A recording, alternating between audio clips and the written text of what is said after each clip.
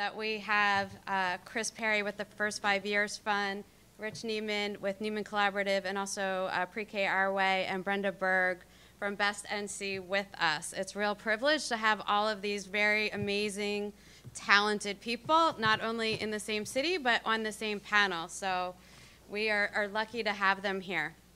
So I'm going to start by just introducing each of them, giving you a little background, and then I have a challenge for you as we think about and as you're listening to what they have to say. And then at the end, we'll have time for some questions, which, so be thinking about what do you want to follow up on.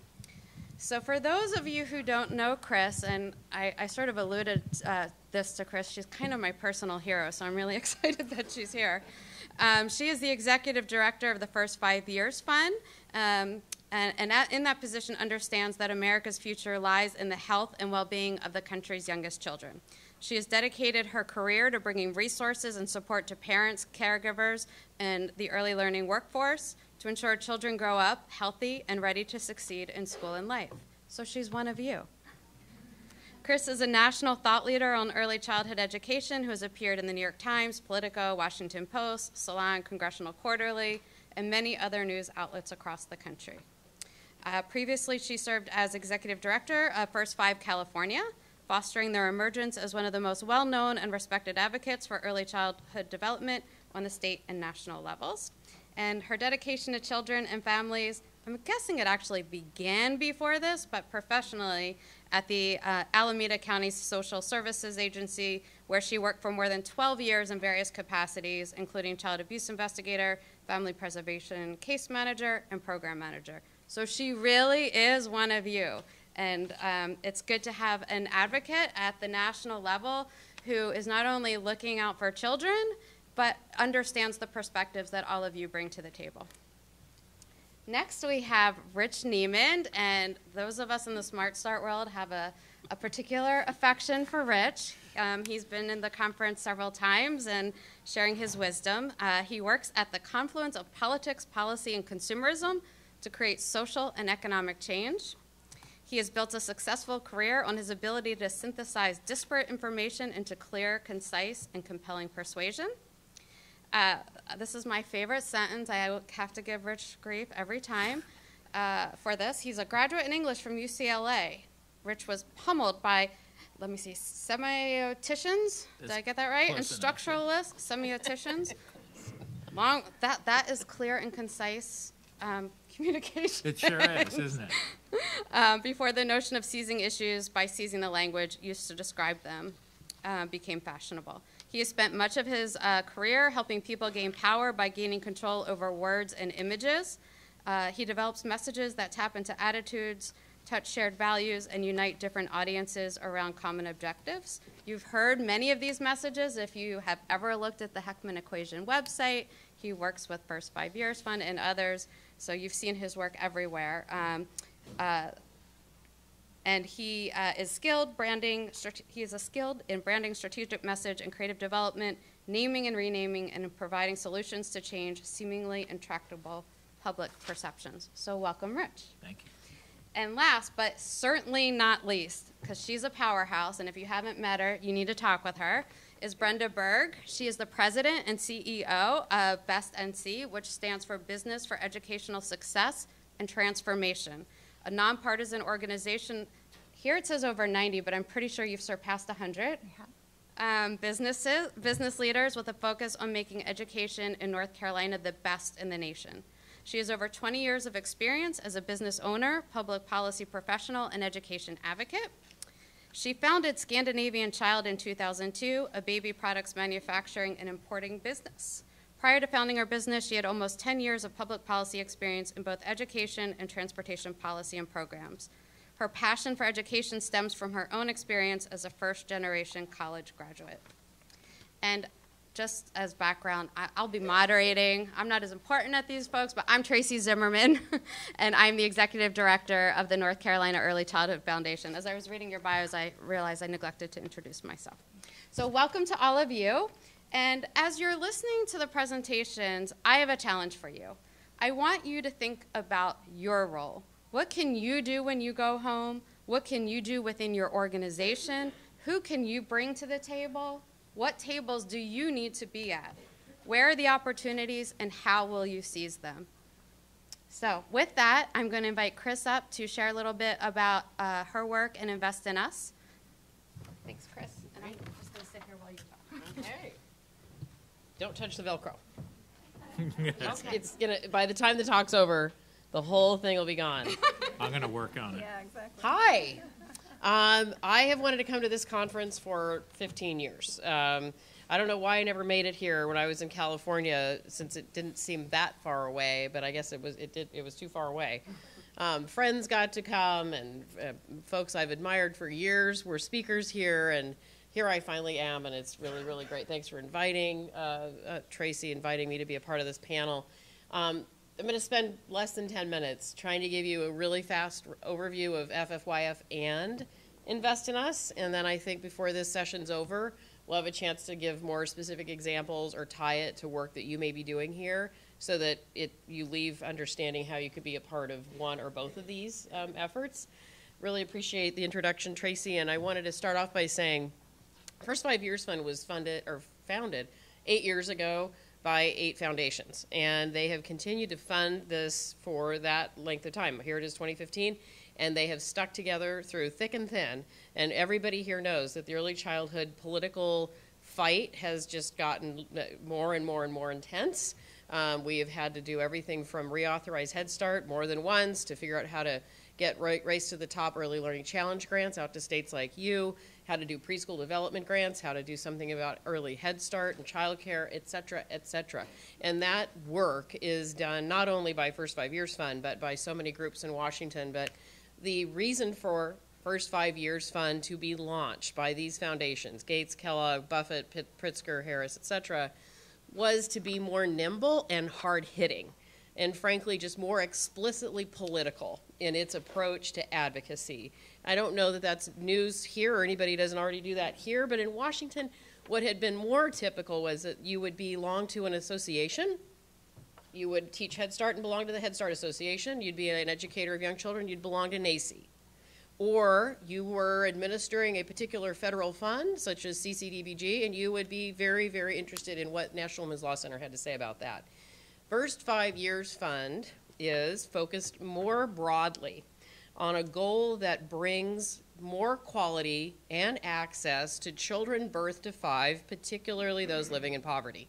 It's a much bigger tent, a bigger umbrella, and it allows us to be much more opportunistic when we think about all of the different funding, partners, champions, etc., who could help on this. And it isn't tied to an association or a voting group.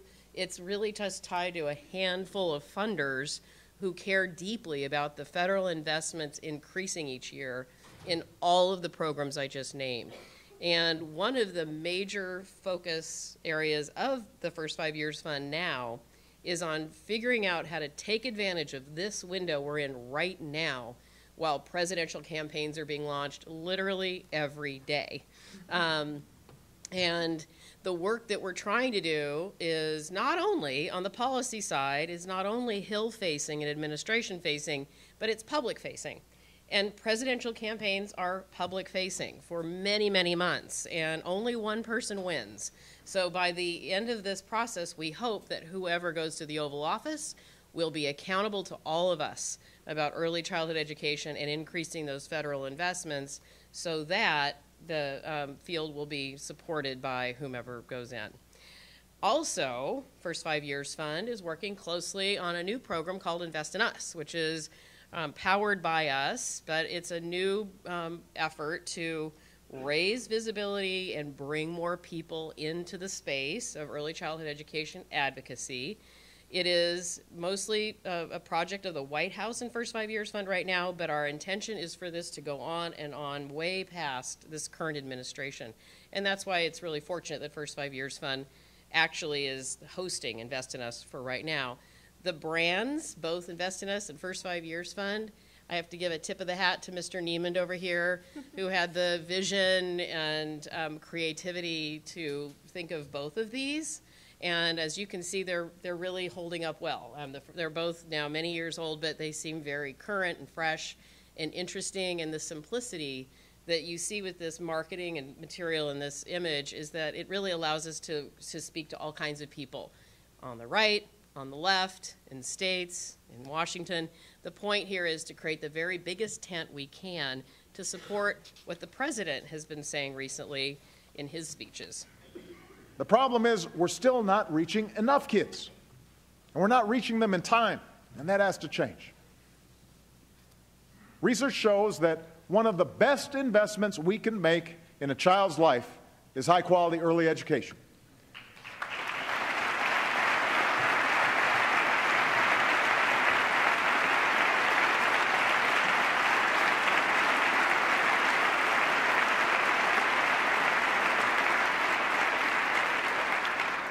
Last year, I asked this Congress to help states make high quality pre K available to every four year old. And as a parent, as well as a president, I repeat that request tonight. But in the meantime, 30 states have raised pre K funding on their own. They know we can't wait. So just as we worked with states to reform our schools, this year we'll invest in new partnerships with states and communities across the country in a race to the top for our youngest children. And as Congress decides what it's going to do, I'm going to pull together a coalition of elected officials, business leaders, and philanthropists willing to help more kids access the high quality pre K that they need. It is right for America. We need to get this done.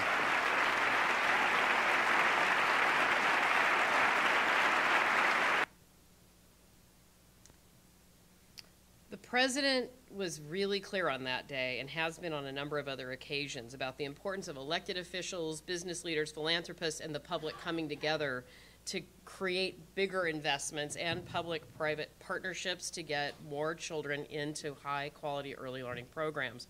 There is an overarching commitment of this administration to help children be successful in school and in life, and as recently as yesterday and today, the president is talking a lot about My Brother's Keeper, and that organization now is spinning off and going off to hopefully survive this administration and help children in the future. But it was launched by the White House, and we think that Invest in Us is kind of a similar effort by the White House to start raising visibility, creating new partnerships, and, and getting more people involved, whether or not they're there. Um, at the summit that was hosted in December, um, the White House invited many leaders that were, um, as you can see here, business leaders, foundation leaders, and labor leaders, superintendents, mayors, etc. Everybody there had a different story to tell about why they wanted to invest in early childhood. Manny Chirico from um, the Phillips-Van Heusen Corporation, that they have, you know, Calvin Klein and many other clothing lines, was there to say it's just good business sense for him to, to care about this issue. His employees respond to it. It gives him an opportunity to talk about how a company can invest. There was uh, Carol Larson from the Packard Foundation, J.B. Pritzker from the Pritzker Foundation, as you can see here, Secretary Matthews from Health and Human Services, who is responsible for administering Head Start, Early Head Start, CCDBG, et cetera. The presence of all of them there that day was a very powerful moment in our movement, and I think one that hopefully will encourage an increase in not only public will, but in public demand. And this is an area where I know North Carolina is sitting worrying and wondering how it will go from public will to public demand. You have been at the very, very highest levels of quality. You have been a national leader as a state on early childhood education, and you've also had to suffer setbacks led by different groups with different priorities. It wasn't so much that they were trying to change your trajectory, but they were very busy advocating for a different set of priorities, which directly impacted your ability to do what you needed to do. in North Carolina, and that same story is happening in Washington, D.C. all the time. So, what we have to do is raise public awareness and give people something to act on quickly. We talked about this before the summit or the, the panel today, and realize that it's really one thing to get people interested and excited, like all of you. In fact, I'm speaking to the choir right now, but I think you're sitting there wondering so, what do I do next? How do I go from where I am to the next thing? And I think Invest in Us is going to be one of the vehicles we can use to move from where we are to where we need to be. With the leader of the free world right there with us right now, people hopefully running to replace him and sitting and who want to sit in the Oval Office will get there and know that they are going to have to do even more than this administration. You certainly wouldn't be expected to do less. And the way that we can do that is by inviting new high visibility, high profile partners like Shakira, Jennifer Garner, Julianne Moore, John Legend and others, athletes and other kinds of celebrities, really we hope to recruit more and more of them to lend their name and voice to this campaign. We hope to partner with more and more corporations. You would expect to see Scholastic and Disney because they sell products to children, but we want to partner with companies that you don't expect to, to care about this issue so that we get a bigger, wider swath of corporate America involved in this, caring about it and speaking up about it within their own companies and elsewhere. What we have specifically laid out for Invest in Us are in days of action, a few things. First of all, days of action, where a number of groups, particularly those in the nonprofit space who can't donate tens of millions of dollars to a project like a foundation can, to instead tell us that on a number of days during a calendar year, they'll do something in their location to draw attention to this issue. One example, a month or so ago, uh, public television aired the Nick Kristof documentary, and they hosted a Q&A with Jennifer Garner after that because she was included in that documentary. So just to give you a sense of how wide-ranging the options are, one of the things Tracy asked you to think about is what can you do next? So be thinking about what you do every day and whether the organization you work in or partners you have could do a day of action in a way that draws attention to what's happening in North Carolina or what you would like to be done differently so that you're adding your voice to the Invest in Us chorus. Also, as a leader, you could be working very, very hard on developing your own narrative and creating your own data points and getting to a point where the, the North Carolina story is a unified, disciplined story. You've had a long history. You have a long story. You may not all agree on the story, but what we've learned in Washington over these last few years since the president proposed the $75 billion increase in early learning is the faster we could come together and the more disciplined and unified we could be in what we advocated for, the more successful we would be. And that's been true. You'll think back, I hope, to uh, the end of fiscal year 2014, or I should say calendar year, when everybody else lost in Washington, but early childhood won. We've got sequester cuts restored to Head Start, $800 million, 500 million more for that, plus we reauthorized MCFE, plus we added a little bit of money to preschool development grants, et cetera, coming out with a $1.4 billion increase, which was the direct result of taking the charge led by the president in January, fighting all year with all of you to get to the point where people in Congress felt like they kind of had to do something to help us with our effort. And Invest in Us is going to build from that place. Now, going forward, as I mentioned, there are lots of people running for president, and there could be 10 more people on this slide right now, or at least four more since yesterday when we made it. Um, I'm announcing. And Rich is going to be running, so we all know you'd be accountable to us on early childhood. Maybe. Uh, but we're really, really excited about the prospect of utilizing all of the resources that they're going to expend on their campaigns to carry our message.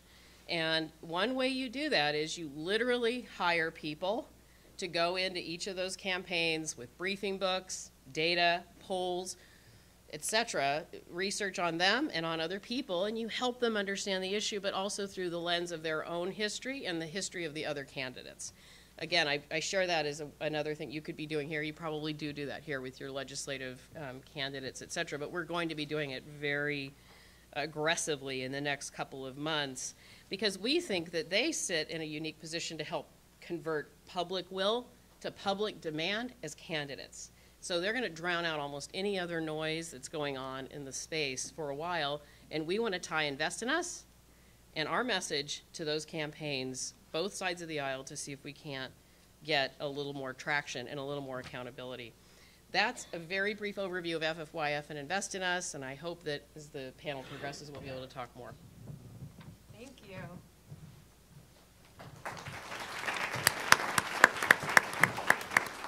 And we at the North Carolina Early Childhood Foundation are very proud to be a nonprofit partner. We're officially up on the website now of Invest in Us, so that's exciting. Yeah for us. Um, so, Kris, you know, the last week's paper actually, uh, our political columnist uh, Rob Christensen uh, was talking about how North Carolina is no longer a flyover state because we've moved our, our Republican primary up, and so there's lots of candidates that are coming through and will be coming through for the duration.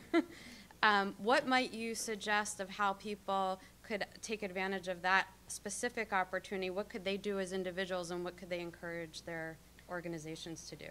Great question. You're not a flyover state at all. Um, and I think that it, we would say this for either candidate, so whether they're Republicans or Democrats, but since Republicans will be here first, what we've been finding out through not only polling but from lots of individual visits is that Republicans are particularly supportive of home visiting programs and birth to three programs. So for any of you out there that are running those, or if you've been supported by MIECHV, I think you want to you want to flag that as something that you don't want to lose. It's important to you, and the same is true about raising the quality of childcare through early Head Start standards. So I think birth to three is a really good place to go. The second thing that's really good to emphasize is that you support parent choice, that parents have the option to take children to different centers, different providers. They have some flexibility in your system. That's a very appealing um, uh, proposal to make. But then, last but not least, I would say be sure and say that you are one of the leading states on this issue. You were the first state to get a Race to the Top challenge grant, that you've built QRIS into your licensing standards, that you fully expect children in North Carolina to be ready to succeed and compete when they enter kindergarten, and you need their help. Um, that this is good for North Carolina. It's good for business, it's good for kids, it's good for families. And so I'd stay at those kind of high level issues while drawing in some of the specifics about your state. And do not take no for an answer. If you call a campaign office and say, I hear your candidate's coming, I want, to, I want some time, if they don't give you time, go to an event where they're speaking and ask questions, raise your hand, coordinate among yourselves so that you're deploying, you're not duplicating. I think you should really try hard to push your issue with anybody that comes. Thank you. That is great advice. All right, next up we have Rich, and he's going to be talking about pre K our way.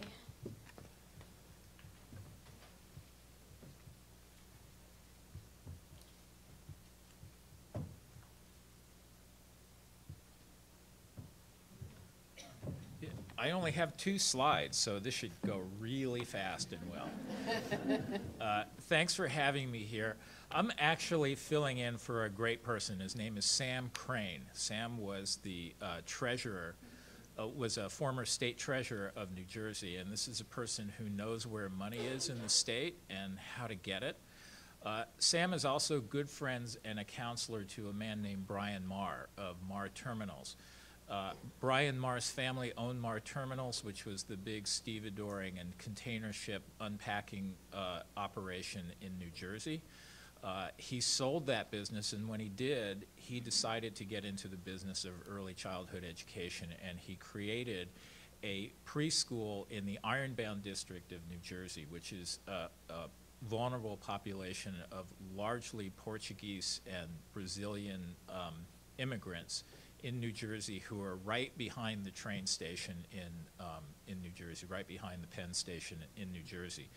He created this uh, preschool place, and then when there was a development grant, an ERA grant under the um, under the uh, Obama administration, he expanded it with his own personal money to create basically a birth to five center using early Head Start funding and his own funding and money from the Ironbound uh, develop, Community Development District.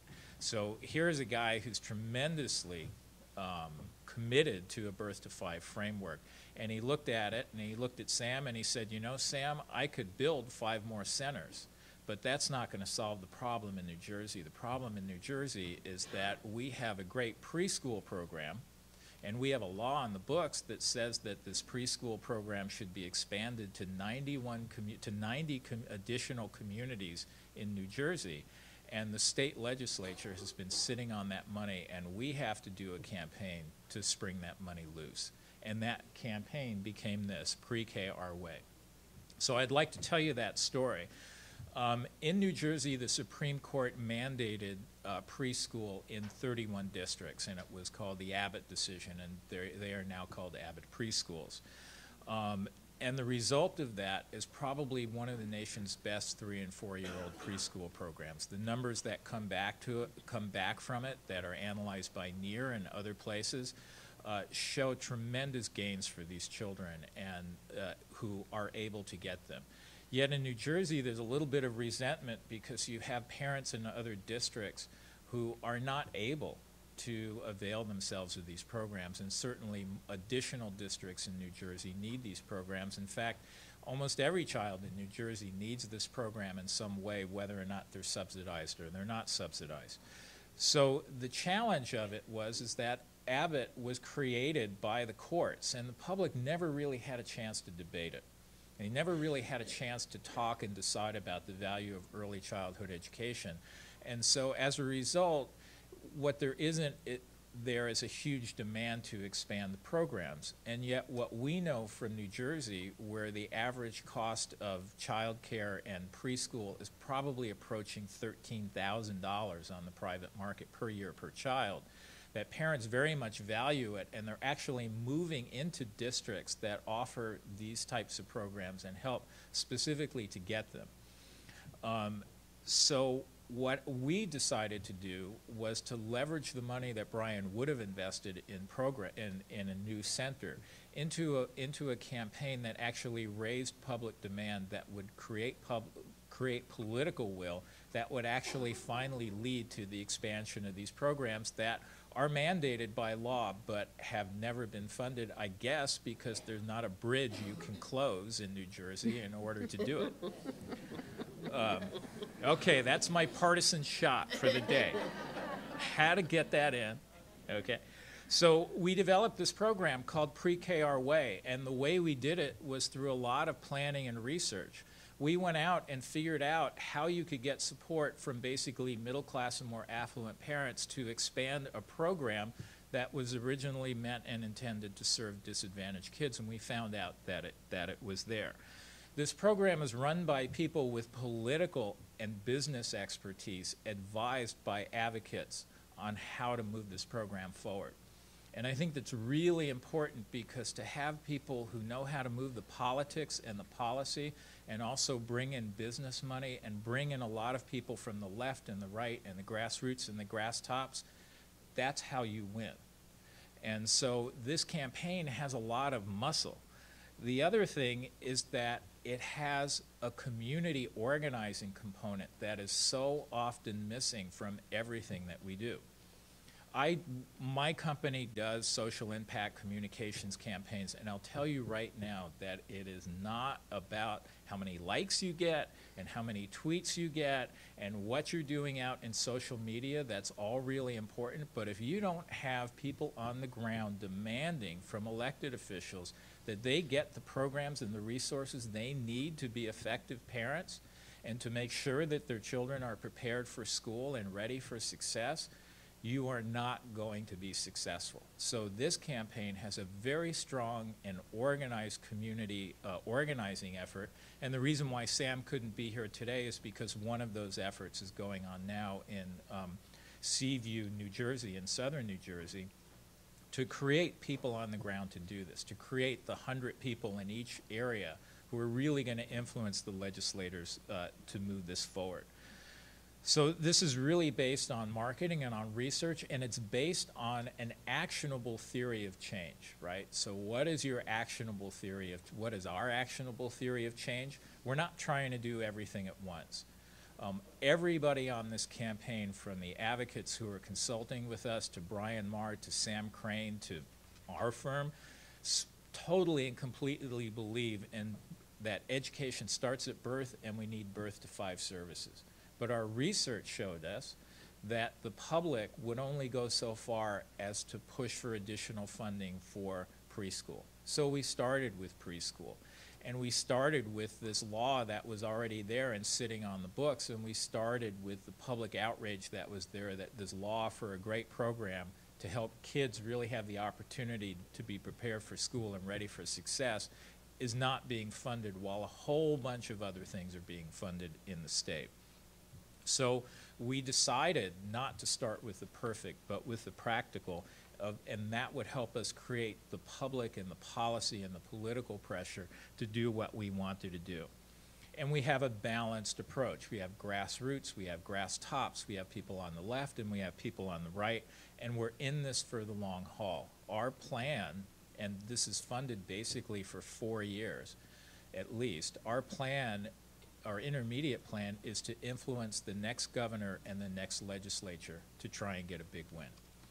So this is really an involved program with a lot of muscle. Um, and we've only been out in the public for 90 days.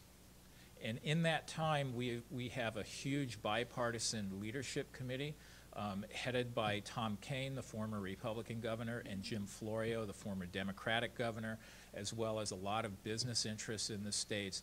All the major foundations in the state are, are also doing it. We're getting press attention, we're reaching out to legislators, and we're currently organizing our own field soldiers the, uh, out there. And our rallying cry is precisely this bring pre K our way. We've waited too long, we're not waiting any longer, and we want you to bring pre K our way into our community. It's time for our community to be served. So we're not starting from a statewide basis that we that people are crying for a statewide system. We're starting locally with local people saying, "You bring my pre-K my way. I want it." When everybody in each of the local 90 local communities demands it, then you have an expansion of a statewide system. So here are the lessons we learned on it as you go through and think about planning your own campaigns and your community outreach that preparation is essential, including public opinion research. You have to find out where people are, and you have to fundamentally believe that you are a freak of nature when it comes to early childhood development. You know so much more than the average person that you have to figure out what they know and how you can build that bridge between what you know and what they know and what they want so that you can get them behind you and start where they are so you can move them to where you want them to be. You have to develop realistic objectives. One or two goals is good enough, and you have to have intermediate objectives. One of our goal intermediate objectives is inside New Jersey, there is a whole bunch of funding for education that is, if it isn't spent, goes into the general fund. And so what we're demanding is that money go back and be spent on education and put uh, a political pressure point on there.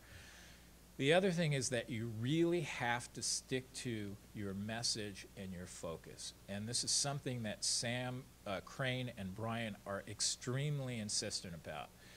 They are controlling this program and they're asking people, do you want to come and join? And people are saying, well, I'd like to join, but I need you to do this, and I need you to do that, and I need you to do this, and they say, we're not doing that. What we're doing is this. And when you're ready to do this, you're welcome to come join us. But we're not going to do that. And what has happened with that attitude, instead of trying to make everybody happy, they've made people come in and be happy about joining a very focused effort because they know at the end of it that this group is going to try and help them reach their objectives as well. So they've they've really um, stuck to that, and but they've left the door open. They've gone to, and people have talked to them and made demands of them, and they say we're not doing that. But when you're ready, come back, and you're perfectly welcome here. And those groups have come back, and now they have a very very strong group. So let me talk to you finally about the, um, the rules of the game as we see them. How do you do this? Um, you don't want to try and do everything because you're going to end up with nothing, right? And the problem is, is that a lot of people who work in this field are progressives, and progressives believe that you have to build a perfect system in order to have perfect outcomes that's great. The problem is by the time you build a perfect system and you've lined up all your ducks in a row, somebody has come by and eaten every single one of them, okay? You've got to start with two ducks who can create two other ducks. So you're going to need two ducks of the opposite sex. That's perfection. Like, teach them how to make more ducks, right? Um, I, the only thing I know about ducks is how to eat them in orange sauce, but that's okay. Uh, you have to have a plan and stick to it and then be opportunistic enough to seize these opportunities. What's out there? Politics, everything's always changing. So this is what we're doing. And when we have an opportunity come up, we all sit down and say, okay, wait a second. Are we being reactive? Are we being proactive? How does this fit into our theory of change? How does this make us go farther? Although this is a well-funded campaign, the funds are fairly limited given the, the size of the state and the number of the communities we're doing. So that's what we do. And you have to remember that where you start is not where you're going to end up, and you don't really know where you're going to end up. So you have to be able to kind of play it around and feel it. Um, it doesn't have to be perfect to make progress. I know I'm repeating myself, but if you come away from anything from here, it's that you don't have to be perfect to create progress. It just has to be really good and focused. And then the other is play to make the impossible probable. When I started working in early childhood uh, development seven years ago with the Heckman equation, um, people said it was impossible to ever get this on a president's agenda, and then all of a sudden it is. Now, that happened through a lot of hard work, but it happened because we made people imagine that that was possible. And then people like Kris and others worked really, really hard to make it probable. And so you have to be out there. You never know when that opportunity is going to present itself and don't fall into the trap that there is no money out there, therefore we can't do anything. I can't think of a state that has a worse fiscal problem than New Jersey, and we're still out there pounding away. And why do we pound away? Because money goes where the will is, and it's not rational. If there's public will demanding on politicians that the public has a priority, the politicians make it their priority. You move right to the top. One message, one ask, hammering away makes it a priority for them, and that's what you have to do. So money is going to be there. And this in this country, there is don't let anybody tell you there isn't money because all you have to do is drive around and you see the money in cars and in clothes and in entertainment and everything else. What's not there are the right priorities. You are out there to set the right priorities and get some of that money for your programs and your kids. And then finally, advocacy is a contact sport, right?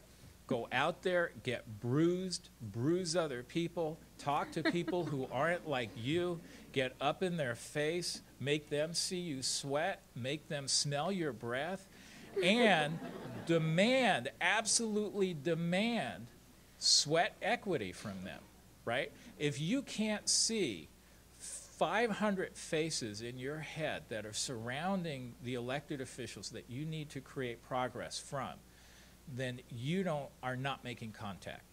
You have to physically know what those people look at, look like, what they like, and how you can get to their likes and to their values to promote the values of their program.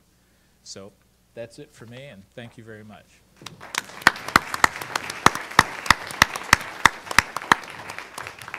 Thank you, Rich. Um, I want to follow up on something uh, you really pointed to. So I think it's, I think you all would agree. It's fair to say that we are not great at uh, uniting around one single policy. Is that fair? Yes. So I heard yes, so I'm taking it. So um, can you say a little bit more about, so for those organizations that initially may have had concerns, what was it that brought them back to the table and what um, how were you also able to keep them uh, from maybe really going astray, creating more backlash, if you will? Uh, to be perfectly honest, the way you do it is with communication dollars and a concerted effort. Basically, if you're out there with a lot of money communicating, it does two things. One, it makes people understand that you're serious and they need to be in the room with you and they need to contend with what you're going to do. So they're going to want to be in the room with you and be an active participant because they either want to be your friend or they want to hold you close as an enemy. And I, I, don't know how else to say that, but at least you have them in the room. The other thing is, is that it's really clear that you can overwhelm them with your communications capacity. So, and what that means is that um, in hard terms, they can talk all they want, but your voice is stronger. And so, and that may sound mean spirited and not cooperative, But the plain fact is, is that we have a lot of kids out there who need help, and we have to make progress now. And so I'm willing to be a little bit mean-spirited and uncooperative in order cr- to create the types of outcomes that are out there. I'm not here to make friends, I'm here to win, right? Um, so within that context, you don't want to alienate people, so we hold the door open. And I, I always tell people, don't create a coalition. A coalition is the most horrible thing you can ever have in your life. It's like I see eyes literally popping out of people's heads at the moment, Rich. a, a coalition is like having dysentery and cholera at the same time. oh my God, this is on camera. I'm never going to work again. okay, but here's the thing don't have a coalition, have a collaboration. So, what you say to people is, this is the direction we're going in. And somebody will say, well, I can't go in this direction because this policy, we're all about this policy, and that should be your number one priority. And you say, okay, well, you know, you can step aside and you can choose to do what you do, and you can choose not to bring this to your board and put your name on it and participate. But we have a group of five or seven people within this collaboration who are willing to do that, so they're going to go forward. And once you do that, it's a whole different situation. You can get the ball rolling, and then eventually you can keep in your back of your mind, I really do need that group there. So now that we've got this rolling, how do I bring them back in, and maybe I can give them this larger thing and, and work with them. Thanks, Rich. All right, so next we have um, Brenda, and um, so we're going from a specific policy to really a comprehensive vision and how to bring that uh, to life. So I'm gonna see if I'll turn it off. Maybe not. All right, sorry. I'm trying to close it. It's not closing. There. No. Hello, everyone. Can you hear me? Can you hear me okay? Good. My voice doesn't carry very well. I'm sorry you've been sitting and, and listening, so I'll, I'll, um, I'll make it even quicker than Rich in the sense that I don't even have one slide. Um, I went analog, so the pieces in your, in your seat come from uh, Best NC. Uh, I'm so happy to be here. Thank you so much, Tracy. We are um, um, humbled um, by being invited to be on this particular panel. Um, and more, more importantly, I'm humbled to speak in front of all of you um, because, sort of like Rich, you talked about the importance of business and, and philanthropists and, and policymakers coming together. That's sort of that's the role of Best NC.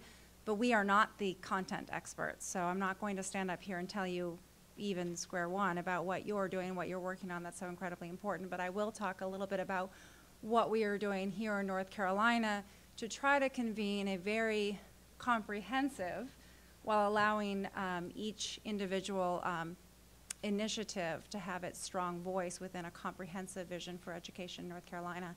Um, first, before I get further into that, just to get a sense, who's from not from North Carolina in the room? Wow. Okay. So with, if my, so the rest would be from North Carolina, which is what, 80%, 70%. So I wanted to make sure that we're, we're recognizing that some of this is within the context of North Carolina, um, but it's inspired, what the work we're doing is inspired by the work that other business groups have done in other states.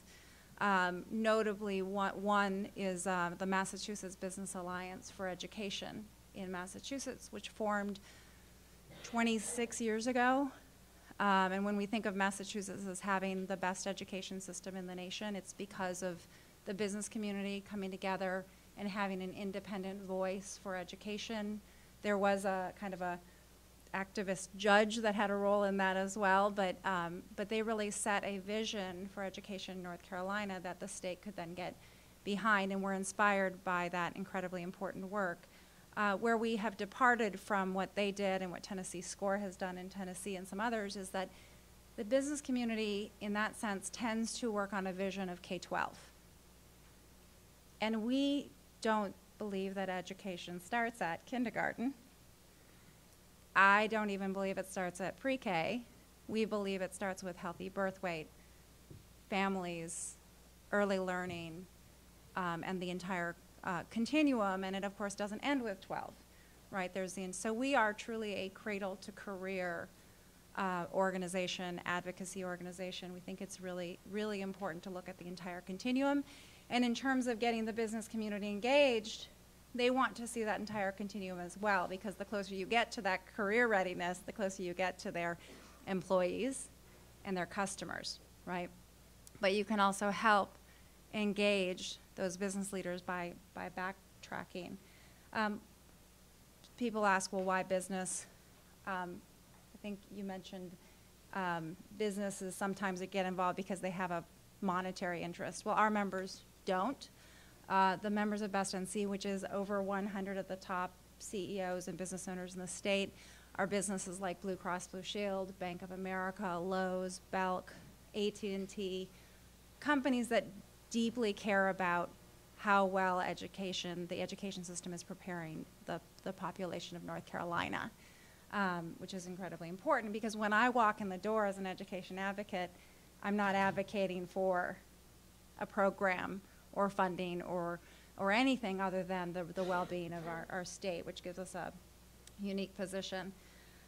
So we've done a couple of things. Best NC is only a year and a half old. So powerhouse would not be the word I would, I would use. Um, but we have built a very strong um, coalition.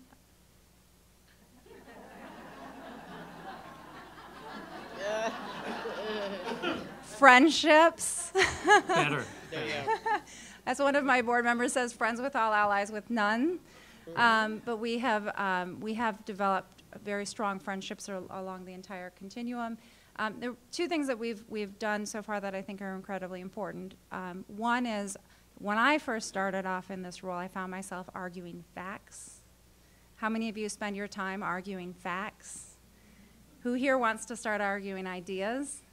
So I've put out our facts and figures book. It's just the first edition. We plan on renewing it, but it was such a simple thing to do, and I think that it's really important um, to sort of always have those facts with you. Um, and we're finding, I'm down at the legislature often, and I'm finding in committee hearings where legislators are pulling those books out. It's a much more productive conversation. But the second, which I think is, is the reason I'm here to talk, is to talk about visioning for education and helping getting people together across the state um, to really share a, a shared vision. Um, we've pulled together over 400 of the top education stakeholders in the state to start the process, and we'll continue to um, convene across the state. Um, and what you have in front of you is the, the very, very high level overview. Um, the purpose for the vision is twofold. One is we won't know how to get where we want to go if we don't figure out where we're trying to get to. Um, and, and as part of that, it's really important that we tear down the silos, right? I see a lot of nodding heads. So you'll notice that when we took all of everyone's sort of hopes and dreams for education in North Carolina, they came down to three things. We need to support students, we need to elevate educators, and we need to raise expectations. Do you hear pre-K in any one of those or all three of those? Right? Do you hear community colleges in any one of those and all, or all three of those? So it was really important to us that we started, well, when you get further into the vision, I agree with Rich, you need to be very specific. But we also need to be seeing how each of our individual initiatives are going to fit into a broader vision. And so we can stop having these pieces fighting against each other. The first time I sat down with President Ross from the university system, and you've heard they've suffered some, some budget cuts lately, I asked him, what, is the, what are the three things that we can fight for that will help the university system? First thing, stop the cuts. Second thing, early learning. The president of the university system, if he can say that, we can all say that. So it was really to help um, kind of tear that down and redefine education across the entire continuum. The other thing we achieved from this process is we didn't just bring in the choir, the usual choir. We brought in people who actually intentionally um, we, who disagreed on points. So to set the vision, we, we established 18 working groups kind of sliced up education to then pull it back together. Each of the working group co-chairs were a Republican and a Democrat, or a pro and a con. Um, there's been a big debate about Common Core. The, the, the standards working group was co-chaired by the anti-Common Core leader and the pro-Common Core, one of the pro-Common Core heads, and they co-chaired. I could have sold tickets to some of these. um, and we, when we sent out the all call, and there are several people in this room, Nancy Brown, you participated in it, Pam Dowdy, um, Cedric, the NC Justice Center, signed up and was part of it. Um, we um, got 325 people to sign up, many of them in multiple working groups. And when we came to the table and had a conversation about early learning, we brought to the table some of the more controversial topics and put them out on the table. Um, and we were very intentional about those conversations. We were very deliberate about those conversations. And, and Rich talked about the importance of kind of sticking to it and getting in their face. And the starting point for that conversation is where do we have common ground? Every single person in this room cares deeply about children. So if you can start that conversation with, we all care deeply about children, you will get to a point where you disagree. But at least you started that conversation on where you agree. So here we are, those working groups happen in the fall. Uh, we're working now at the legislature with the, their current agendas, and it's paying back already. It's paying back already because we have friends from both sides who respect the process. And so we've put forward um, recommendations that have, have been a little bit controversial, and people have said, you know, but the process, we all agreed, you we all came to consensus on this, on this particular point. So I think that, that effort of, of pulling people together intentionally who, op- who you think oppose to understand it. And I'll give one quick example, and I know we're, we've got uh, time, but um, have any of you heard of, in North Carolina, there's been a claim about the fading effect? Right? So I was confused by this. And I kind of went in and dug around because I, I found myself saying, there's no fading effect. I'm going to defend pre K. Well, what I found is it wasn't an indictment of pre K, it was an indictment of K 3. And I think we get lost in the I'm going to prove to you that I'm right. I'm going to prove to you that pre K is the best. Well, it could be. But if we have students who are coming out of a wonderful pre K environment and they're coming into a not wonderful K 3 environment, it is a fading effect. And so, if that's the language that they're speaking, let's start with that. And let's look at third grade reading and help get everyone on board with the fact that the entire continuum from a healthy birth weight to third grade literacy, every single piece is part of a collective, right? If we can get everyone, I think it's wonderful now that there's a stake in the ground that says third grade reading is important. And so now we can reach into all of the resources that we have here at the table. Tracy's the, the campaign for grade level reading. We can start pulling into that and, and getting people to see this as it's not early childhood educators against home visiting. You can see how it's an and, it's not an or proposition. So I'm really excited about that, and I hope that each of you in your own personal advocacy and the work that you do really spend some time trying to understand that the person who you're fighting against, there's got, there has to be some common ground. I have yet to meet anyone who hates children. I haven't, I have yet. So let's start there, and then you can work your way. And so far, so good. We're, we're seeing some great results. But again, the content of it is thanks to all of you and all the work, hard work you do. So as you hear more about Best NC or you see opportunities where you can help us, I would also invite you to please provide us with all of your, your knowledge and your, your skills because we can only do great advocacy advocating for great work. So thank you.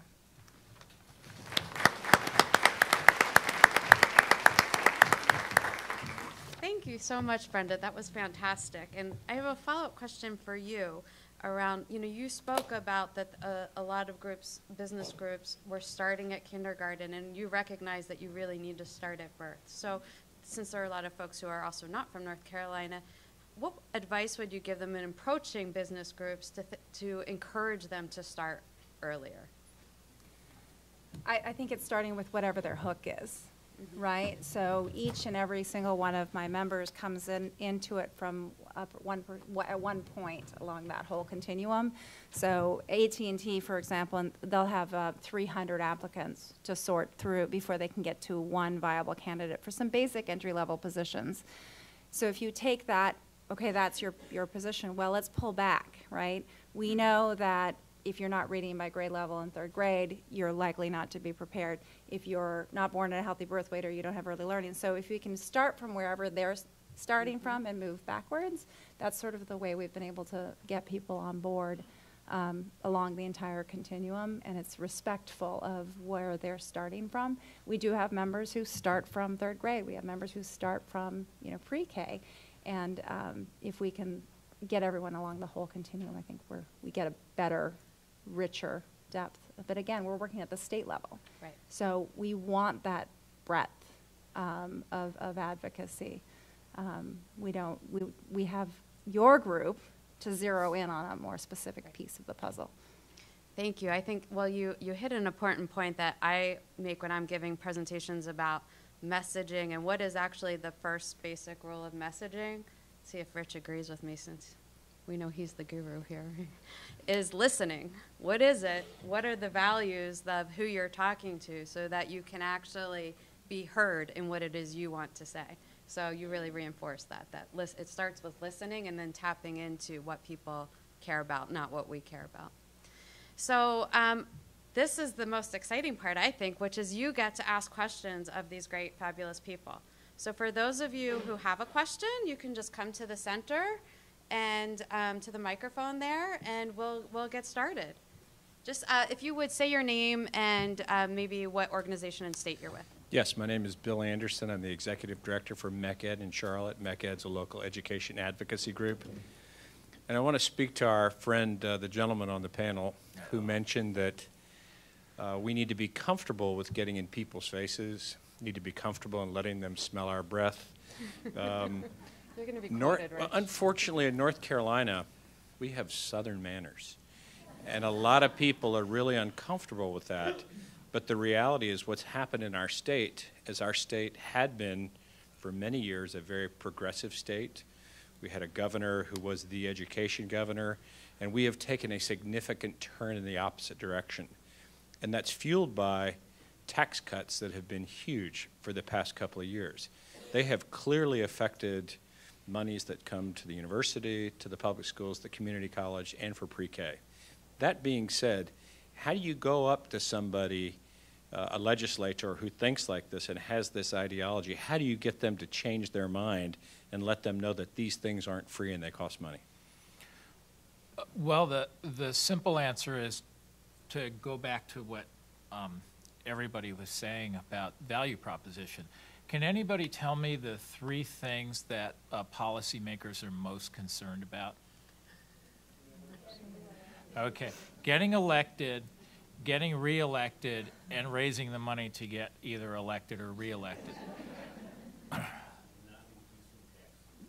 Well, but the thing is, is that not increasing taxes or that, that whole thing comes from a way to get elected and, and to get reelected, right? So basically, there, there are two things. One is public will that tells them that the, that money should be spent in a particular way. This is my money, my tax dollars. I want it going here.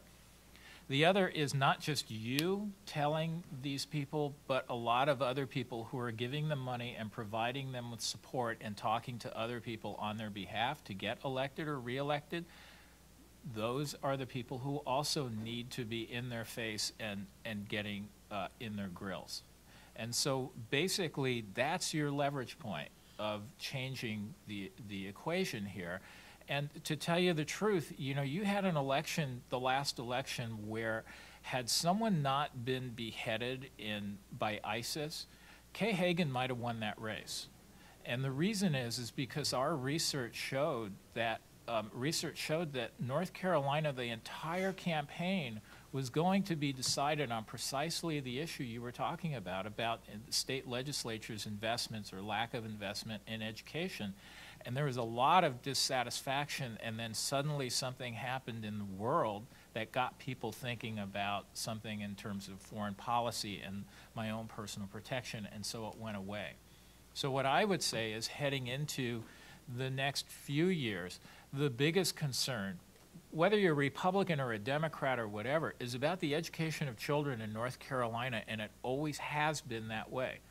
And so, what you need to do is really make sure there's a very strong foundation of support um, on the left, on the right, grass to, grassroots, grass tops, to make sure that a single event in the media can't derail the public's focus on your issue.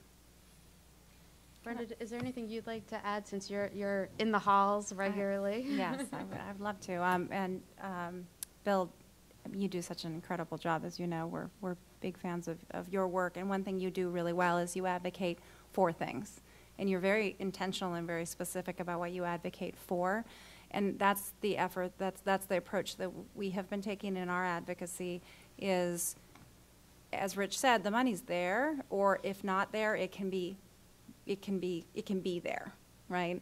And so in, in our advocacy work, we, we try to get them hooked on great ideas, right? And um, I talked about kind of that continuum. Right now, we're working on a continuum of teachers being recruited and supported and developed, and principals and the whole talent pipeline. When we look at the birth to third grade reading continuum, get people excited about that entire um, bucket because then you, you're doing two things. You're advocating for something that they want to then fund. We typically talk about the dollars after we get them excited about it. And, and two, you're not robbing Peter to pay Paul in the process, right? Because we don't want them to fund one piece of that continuum. We want it all to be um, one entire continuum. So advocating for things, getting them hooked on it, and then, oh, and by the way, there's a price tag attached to it. Thank you. Other questions, please, you, you're, you can uh, form a line if you'd like, uh, come right on up. But get out of Helen, thanks Helen. Um, I'm Helen Gabriel, and I'm with Smart Start of Brunswick County. And um, I have, well, I was going to actually even address the fact that it is kind of a soft-spoken industry. It's babies, puppies, butterflies, everything is beautiful. And so since people really don't hate children and babies, why is it such a hard sell?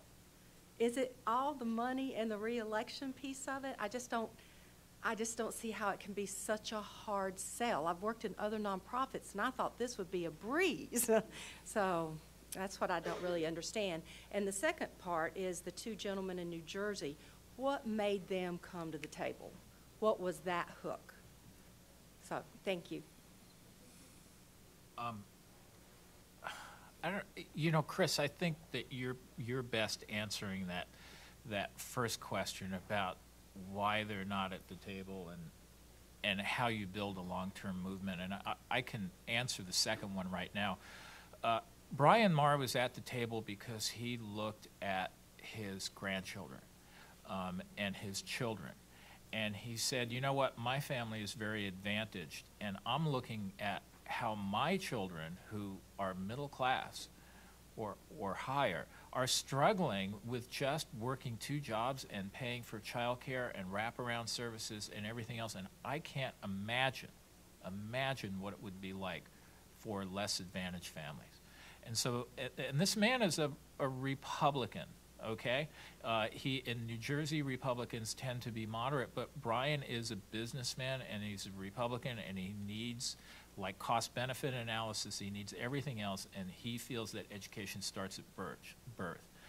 Sam Crane works for him, and Sam will do what Brian wants him to do. But Sam also believes in this uh, very deeply, and and and as do all the people around them, all the advocates and everything else. Um, what Brian did when people talk about meeting people where they are, stop talking about policy and get people to look at their own families first and say, okay, now imagine what it's like for somebody who doesn't have a car, who has to take the bus, who has to do this. All of a sudden, you make a connection with people, and then you can talk about how to build a wider movement. Kids don't vote. Um, I think you can go there, and then you think about the kids we're probably serving and how disenfranchised they are and their parents are. And so there's sort of a whole analysis you could do on who we help and how disempowered they are.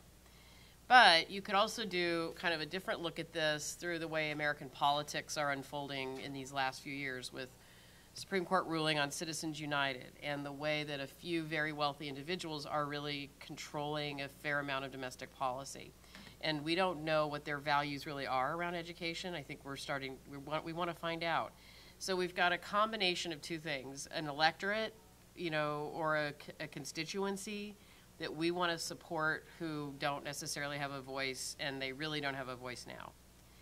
Then we have to shift all of our advocacy efforts to be much more tailored to highly influential, high net worth individuals, which is not how we grew up.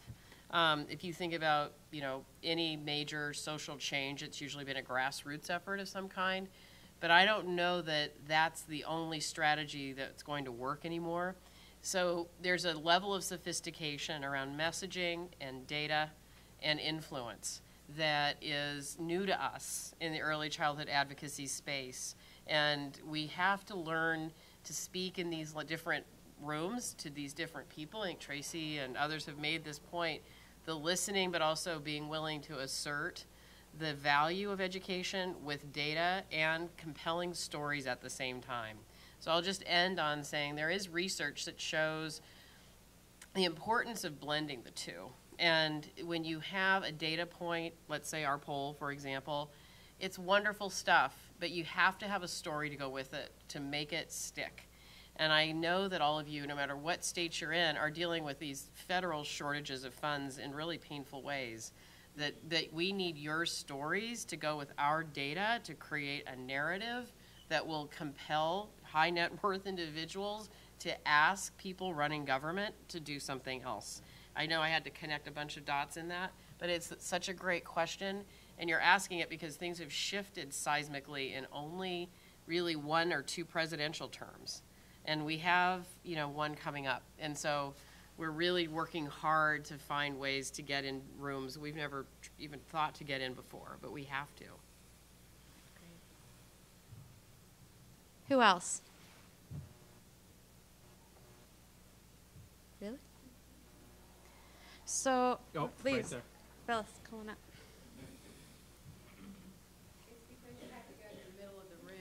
If you, if Oh, is that what it stand it Okay, well- easier, I'll Could bet, yell. Take a vote. I Um, could take the mic around. Uh, so I'm Phyllis Barber. I'm from Wake County Smart Start, and my question is that um, the, there's a there's the moment when you meet a business leader or a community leader and you see the potential for them to become a future champion. You can just sort of feel that they may, be, and maybe it's because they feel passionate about part of the issue. Maybe they're, um, I've often said that when people are, seem irritable in a meeting, it's because something conflictual is happening in their interpretation, but that can be an opportunity. It means that there's something, there's grit happening in their mind and they're trying to wrap their head around it, and I see that as an opportunity. Um, so both with people that are pro from the beginning and mixed from the beginning, what are concrete experiences that we can cultivate with these future leaders to get them from the point where you have the first meeting to the point where they might go into a legislative office and advocate. Um, we are we host a business board circle. We meet twice a year, and then we try to offer some uh, uh, enrichment opportunities for those leaders to gain knowledge. We've done something around labor and the impact of our work in affecting the uh, future workforce. And we've talked about the cost, the complex costs to provide services. And I'd like your ideas about what kinds of experiences you've done with leaders where you've come out of those meetings or those events and you felt like the leader came away with a great sense of value to their time being spent because we're certainly respectful of their time, but also like that connection. And I do understand that it can be very individual to the specific business or industry. So I'll step down and take your input in my chair. Yep. Brenda, why don't you start? Sure. Thanks. Um, um, couple of things. One, keep it simple. Really, really, really, really simple. If you can keep it down to, you know, one graphic, an infographic goes a long way. And blending the data with stories is always eh, some sort of human connection, but blended with the, the facts. Um, tends to be the most impactful communication tool, but with business people, we're busy, right? This is, um, uh, a matter of fact. The other is, though, you can't, you simply can never expect anyone to leave a, a conference or a presentation and then advocate proactively. It's, it might happen, might, but it is much better if you say, we need specifically this program or this amount of money in this line item, and you need to speak with these few people in the next three days. And you need to say the following things while you're at it. So the more, if you have those strong advocates, it is not, okay, you know, e- even if I say, well, can, can you give somebody a call? It, can you give, do you mind if I, I will send you their phone number, right? I will send you the talking points, uh, or I will be there with you in the meeting. Um, it, it, there, there has to be a lot of, of handholding because business people, the more impactful the business person is, the more they're just busy. Um, the other, the second part of that is you do want cocktail party conversation. So very, very, very short, concise bullet points help with that piece of it where you're saying, if you're in a cocktail environment, you can have, you know, this one data point, maybe two, but keep it really simple.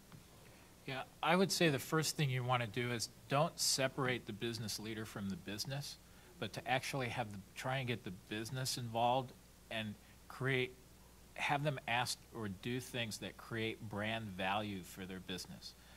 Um, and then the other thing is to get them to understand what that brand value is and what it does for them, and then the value of what you're doing, like tours and getting them introduced to people they're helping and them actually seeing it is a great way of getting them personally and then their business uh, invested. The other thing is exactly you have to ask them to do something, and you have to ask them to do something right right away. As soon as you see that connection, you have to have to ask them to do something. And the first thing you ask them to do should be fairly simple, and it should be positive, right? So that they have a positive experience and then support that with media so you go back into brand value that they're getting for their company and all of a sudden now they're seeing oh we're getting some good play on this thing that i've done when you ask them to do something it's what's called what we call a pressure test. Is this person really a champion for me and how far along are they? They can't like ask for this then they're not farther along. I have to do more education and understanding and passion. Once you pressure test them a couple times they become a champion. So it's a, it's a really slow process. You don't go from zero awareness or contact to champion, and it doesn't happen in the first meeting. And so you have to manage these relationships over a period of time and experiences. Anything to add, Kris? I just say relationship management is a job. Um, uh, it's it's something you almost have to assume somebody comes in every day and is thinking of who you want to cultivate what's been done for them lately? Have they been um, invited or rewarded or acknowledged as well as asked to do something? Because um, busy, but also not an expert in living it day in, in and out. So what you can do is pretend you're staffing them on it. You know, just behave like staff to them on it. And I think people really start responding to you when they see you working for them on it. Great point. Okay, so another question. Great, come on up. Thank you. Uh, I'm Dr. Sharon Brown. I work with the North Carolina uh, Child Care Health and Safety Resource Center. I'm also uh, working in the Eastern region as a CCHC coach. And I know that there are a number of people here that represent different groups within early um, child care. With our focus with health and safety, we really are trying to improve the numbers of uh, child care health consultants. We want one in every county by at least in five years. So, and to do that, we've got to start influencing some people. And my background, uh, previous background, has been um, heavy into what I would fondly refer to as unpaid lobbying for my state nursing organizations in North and South Carolina, California, and then some neighborhood advocacy work. And um, I've been described as a steel magnolia um, and also, um, my favorite uh, statement from someone at the Tucson um, council meetings, she goes, Sharon, you don't take any prisoners, do you? from that, I, I, I'm, I'm feeling very schizophrenic coming back into North Carolina because I do have a Southern background, and I do feel like I can't get into somebody's face so they can smell my breath. but I also want to instill in at least those that I uh, coach and mentor um, that you need to speak up for yourself. You need to advocate for what it is you do, what you do well, and let those that make these decisions related to the early care uh, in the state and very much the direction of where it's going, let them know how much you can impact that. Do you have some pearls of wisdom of how to deal with individual specialties within the greater umbrella, and particularly some advice of how to work with North Carolina? Well, can I Please. You're the only one leaning in, Kris. It's on you. I've been, I feel your pain. I have been in your shoes. I didn't get very much done when I was in my silo. Worried about my program, my staff, my funding.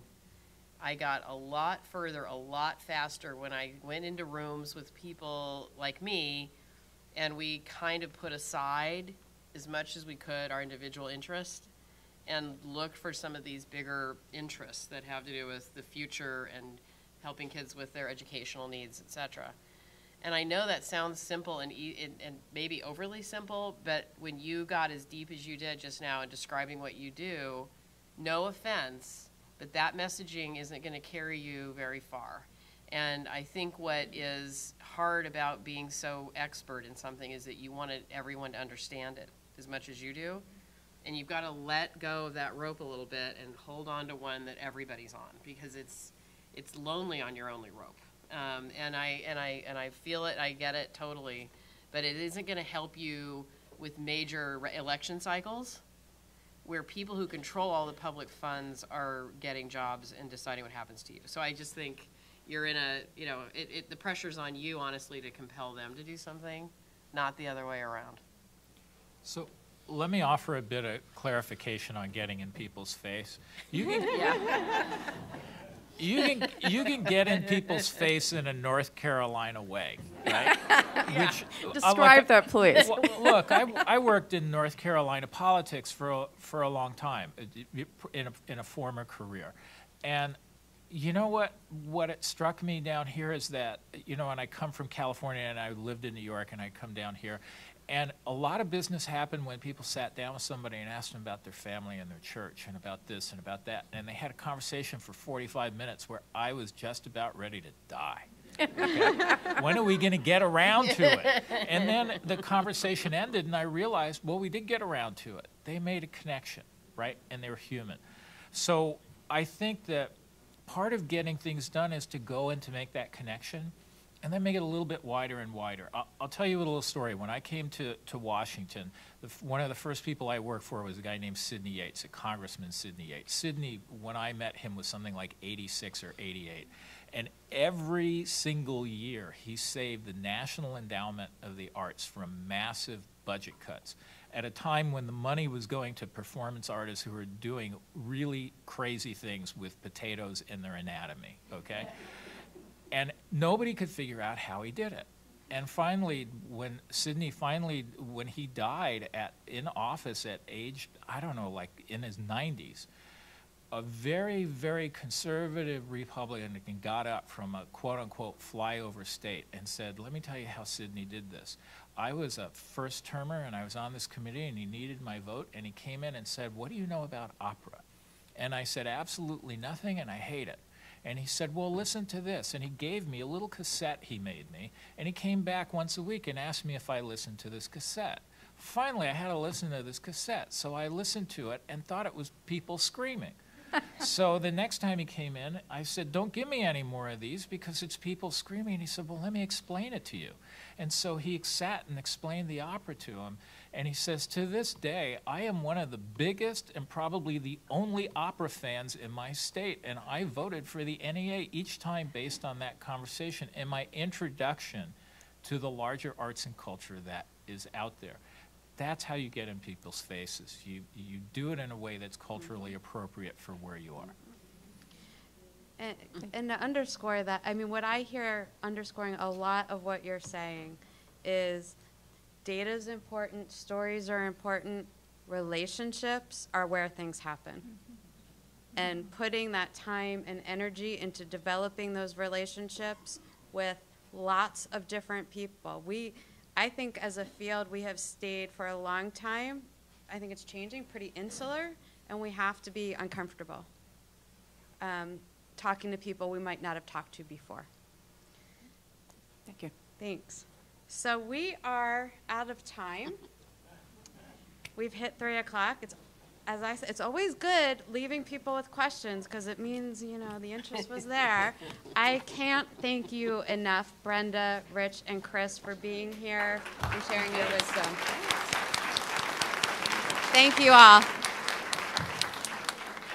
You're about to get. Here comes the line. People that want to know what you mean.